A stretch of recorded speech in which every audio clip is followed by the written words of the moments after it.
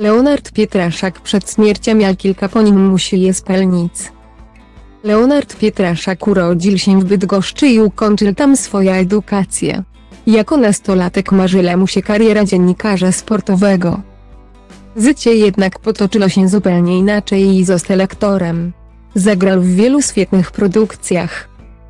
Występował również na deskach teatrów.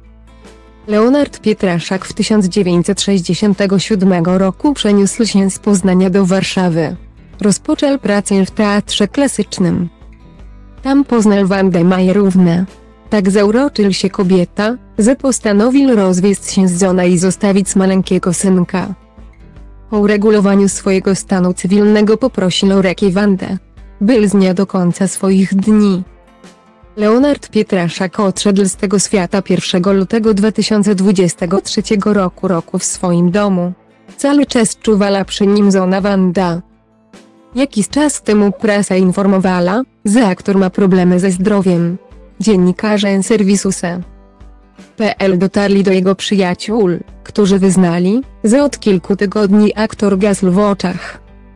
Na portalu se.pl możemy przeczytać również o dwóch prośbach, które Leonard wyjawił przed śmiercią. Miał powiedzieć Zonie, że chce zostać skremowany oraz pochowany przy matce Janinie. Mama Pietraszaka została pochowana na cmentarzu Starofarny, kiedy zmarła miała tylko 44 lata.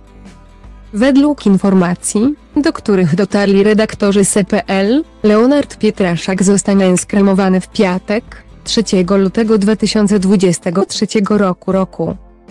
Okazuje się, że pierwsza część ostatniego pożegnania odbędzie się najpierw w Warszawie. Msza zalobna aktora odbędzie się w sobotę, 4 lutego 2023 roku roku o godzinie 13.00 w Kościele Środowisk Twórczych. Z kolei pogrzeb aktora odbędzie się 7 lutego 2023 roku roku w Bydgoszczy. Msza została zaplanowana na godzinę 12.00 w bydgoskiej katedrze SW. Marcina i Mikołaja. Z kolei uroczystości pogrzebowe rozpoczną się około godziny 13. Na cmentarzu starofarnym przy ulicy Grunwaldzkiej 15.